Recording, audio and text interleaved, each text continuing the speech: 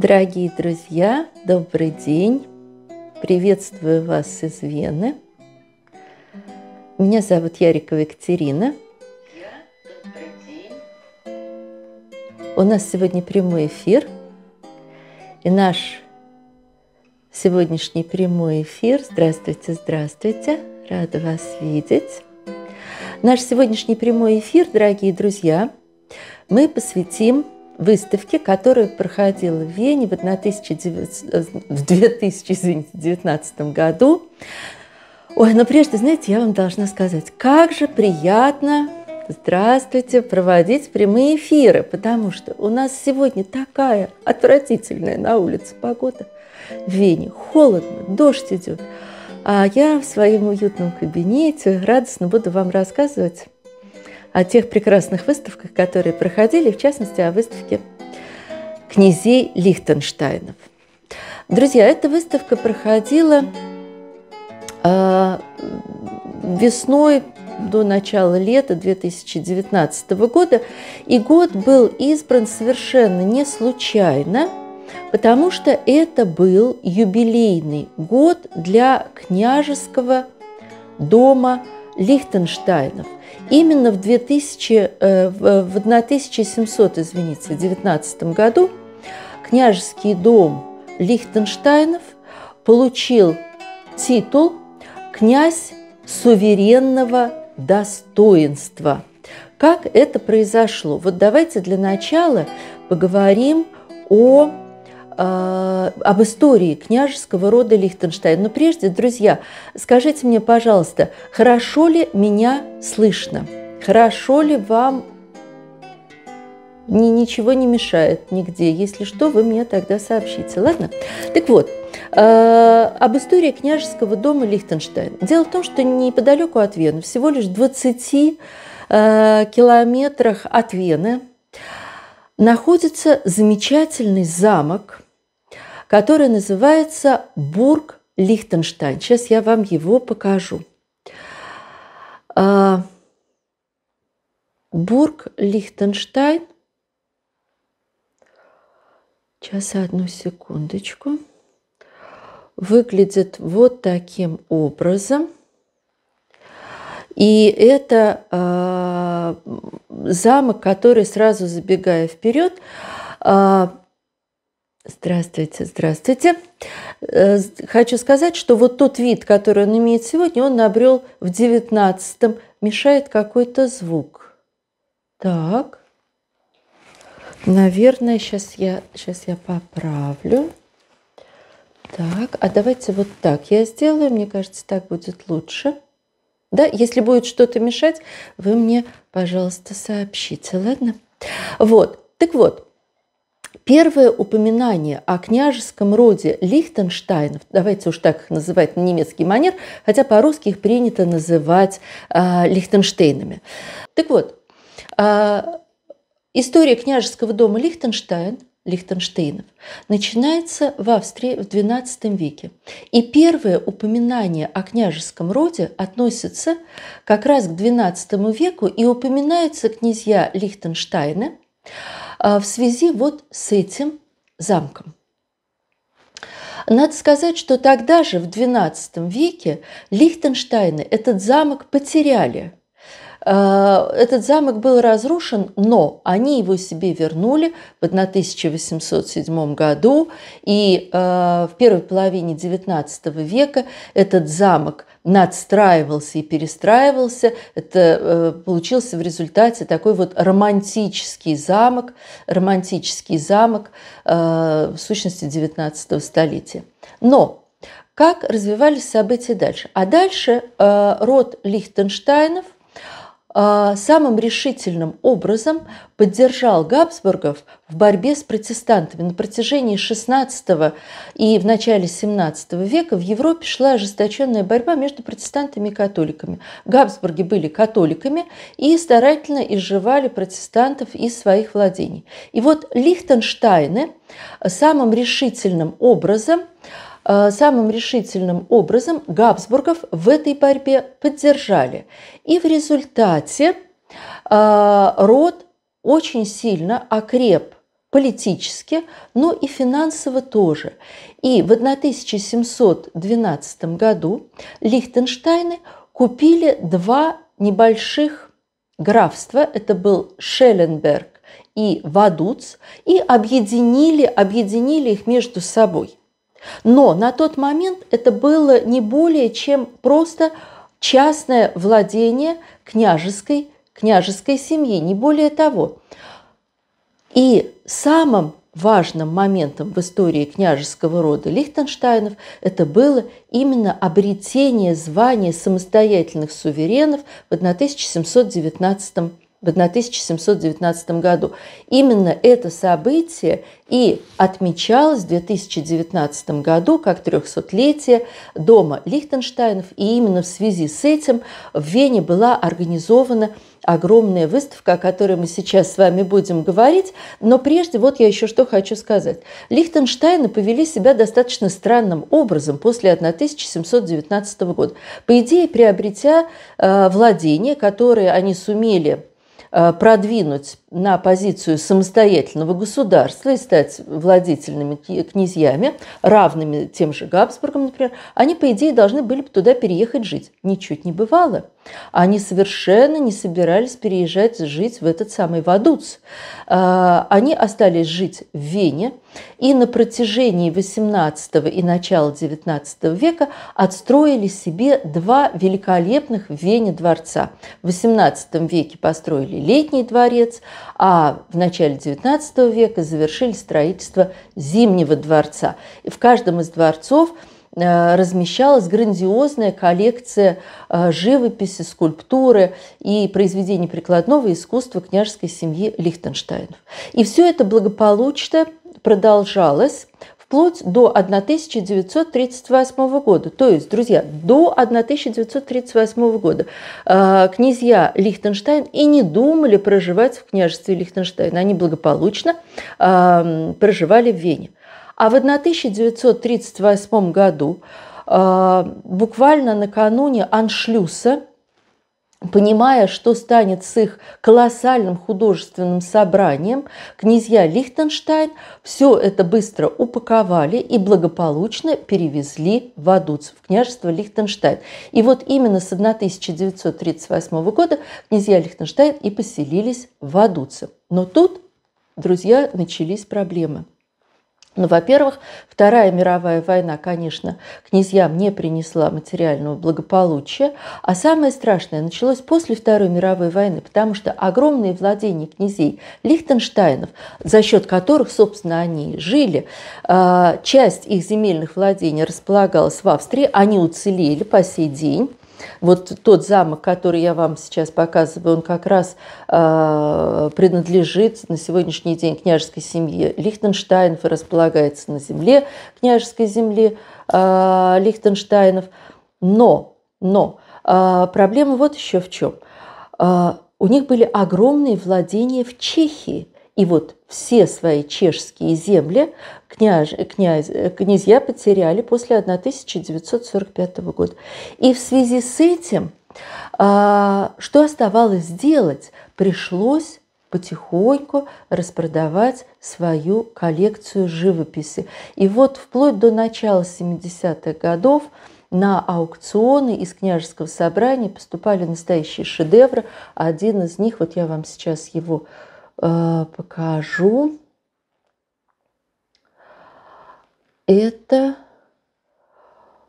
такая, такой знаменитый портрет э, Женевьевы Бенчи, кисти Леонардо да Винчи. Сейчас это произведение хранится в Вашингтоне, но изначально э, эта замечательная работа находилась в княжеском собрании князей Лихтенштейнов. Вот. Но э, в начале 70-х годов Э, к власти, можно сказать, в Лихтенштейне пришел принц Ханс Адам. И он начал проводить в Лихтенштейне совершенно новую политику. Во-первых, это стала э, такая счастливая бухта для хранения денег. И масса финансовых операций начали производиться через княжество Лихтенштейна, и огромные деньги потекли в кошелек самих Лихтенштейнов за счет вот этой банковской деятельности, а кроме того, они начали налаживать высокотехнологичное производство. И с 70-х годов благополучие Лихтенштейнов резко пошло вверх, и как это отразилось на их собрании? Они начали самым старательным образом э, искать, куда в результате попали их э, картины из их собраний, стали стараться их как-то приобретать назад. Вот. Ну и на сегодняшний день э, собрание Э, живописи прикладного искусства князей Лихтенштейнов – это самая крупная в Европе частная коллекция живописи. Ну а теперь, друзья, давайте начнем говорить немного о тех экспонатах, которые были представлены на этой выставке. Выставка выстроена была в хронологическом порядке. Начиналось все с раннеитальянского искусства, потом мы с вами будем говорить, посмотрим, как у нас по времени все пойдет, потом мы с вами должны будем обязательно поговорить о э, старых голландцах, в собрании э, Лихтенштейнов. Потом мы будем говорить об эпохе классицизма и обязательно поговорим еще и о Бидермайере, а потом у нас еще будет рассказ о Хансе Маккарте, э, венском художнике, и сама выставка э, называлась «От Рубенса до Ханса Маккарта». Так вот, первый экспонат, который мне хочется вам показать, это бюст – Марка Аврелия. Этот э, бюст Марка Аврелия был выполнен э, художником Пьером Якопо Бронколи. И вот тут, друзья, сначала стоит поговорить о предыстории. Значит, Пьер Бронколи – это художник, скульптор, монтуанского происхождения, значит, сам он из Мантуи, и он урожденец 15 века. Он работал во второй половине 15 века. А во второй половине 15 века, в начале 16 века в Италии происходили грандиозные события. Начали э, обнаруживать все больше и больше античных статуй, вообще античных произведений искусства. Но вот в частности в 1506 году, например, нашли знаменитую вот эту вот статую Лаукона, которая оказала огромное воздействие на итальянскую живопись эпохи Возрождения. И э, Пьер Бронкули начал принимать активное участие в реставрации тех скульптур, которые обнаруживались. Он переехал в Рим, и самая, пожалуй, знаменитая работа э, реставрационная, в которой он принимал участие, это реставрация, это реставрация э, одну минуточку, вот этой знаменитой статуи Марка Аврелия. Это античная статуя, которая была покрыта золотом, и она, э, надо сказать, что ее-то как раз никто не обнаруживал. Она э, существовала в Риме еще от Рождества Христова в прямом смысле слова, ну почти, потому что сама статуя была изготовлена в 176 году от Рождества Христова.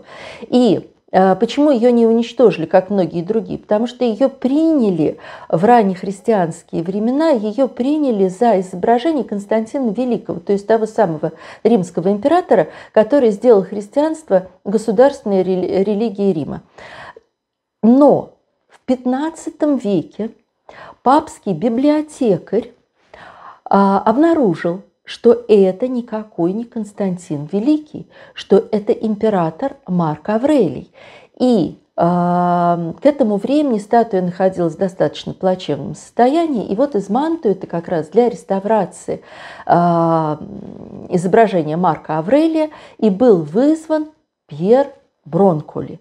Он реставрировал эту скульптуру, а затем под воздействием, так сказать, полученных впечатлений и изготовил вот эту самую голову Марка Аврелия. А дальше давайте зададимся вопросом, почему в начале XIX века а, Лихтенштейна так радостно приобрели этот бюст работы Пьетро Бронколи, э, Марка Аврелия. А связано это вот с чем. Мы же с вами говорили, что Лихтенштайн, несмотря на то, что они имели титул владетельных князей, и их владения располагались в княжестве Лихтенштайн, проживали-то они между тем в Вене.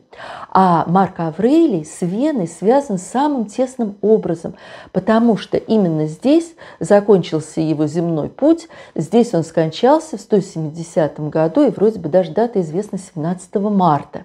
Вот. И э, дабы продемонстрировать свою неразрывную связь с Веной, э, князья Лихтенштайн приобрели вот этот бюст работы Пьетро Бронкули.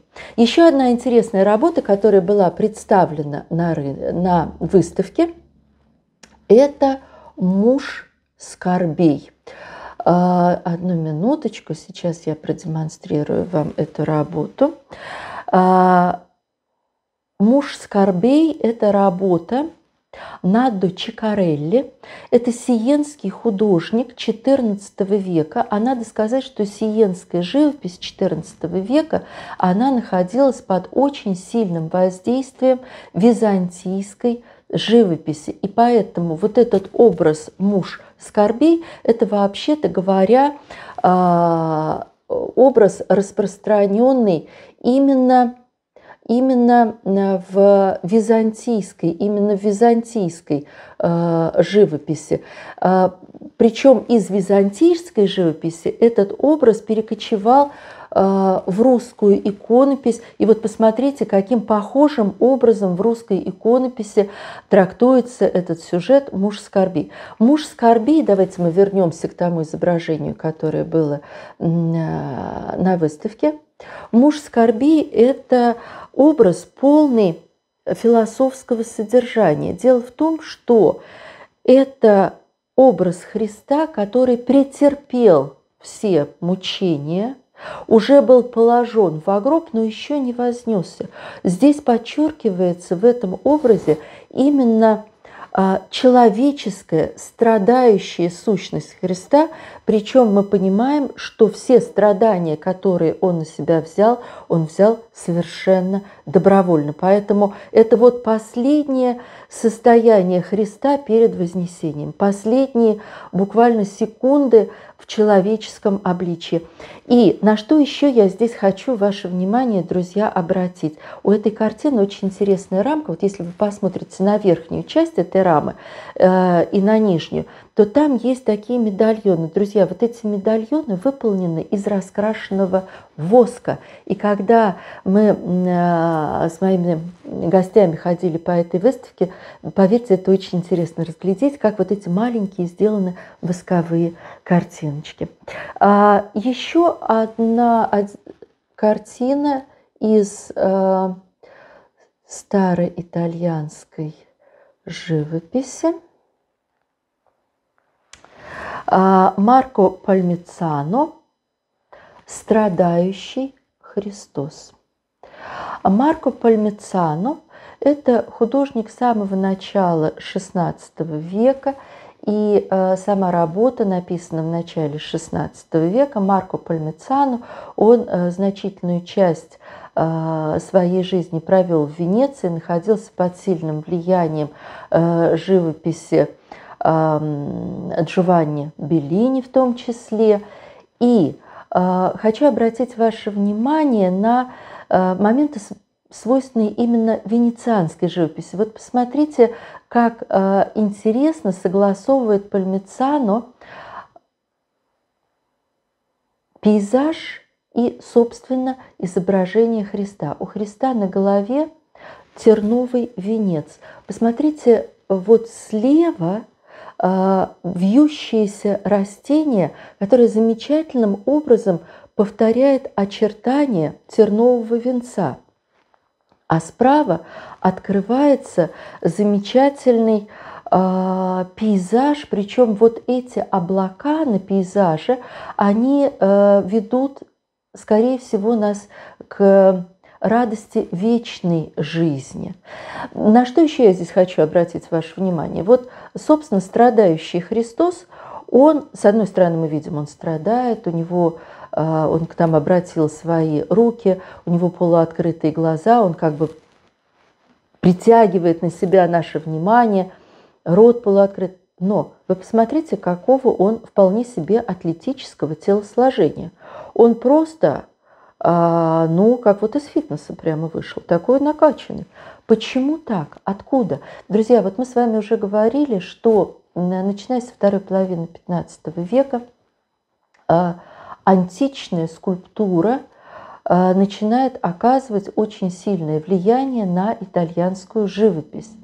И а, вот эта идея, что э, красивое телосложение, э, красивое такое фактурное тело является э, принадлежностью божественной ипостаси, как это ни странно, перекочевала как это ни странно, перекочевала в итальянскую живопись.